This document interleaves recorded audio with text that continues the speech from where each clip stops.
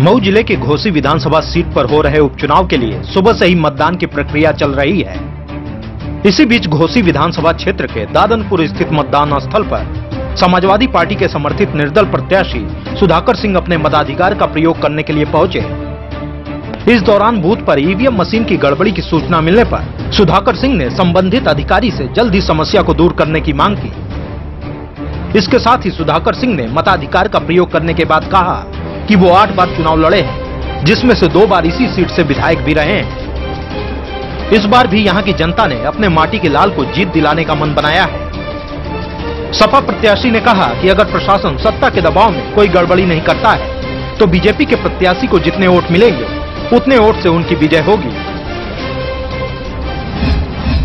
आठ बार मैं विधानसभा का चुनाव लड़ा हूँ, चार बार नथुपुर से, चार बार घोसी से चौथा लड़ रहा हूँ।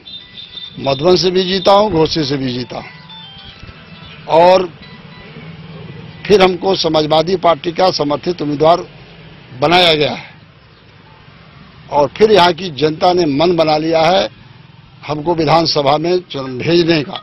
और जन, हर जाति, हर धर्म के लोग, चाहे किसी जात बिरादरी से इंगिल हो, कोई परहेज इस बार नहीं है, सारे लोग मतदान प्रतिशत में कम हो, चाहे ज़्यादा, सभी कर रहे हैं। और हम भारी भारी मतों से समाजवादी पार्टी समर्थित उम्मीदवार हम चुनाव जीतने जा रहे हैं। आप कहीं किसी बूथ पर चले जाइए गए भी होंगे एक एजेंट भी इन लोगों को नहीं मिल रहा है। केवल धन और बल न रहे इनके पास एक कोई एजेंट इस समय है न वर्तमान में कहीं का वोट को रह गया है। यहाँ की जनता क्या चाहती है? यहाँ की जनता की मूल मांग है कि हमारा विधायक हमारी माटी का हो हमारी विधानसभा का हो जो हमारी बात को सुने।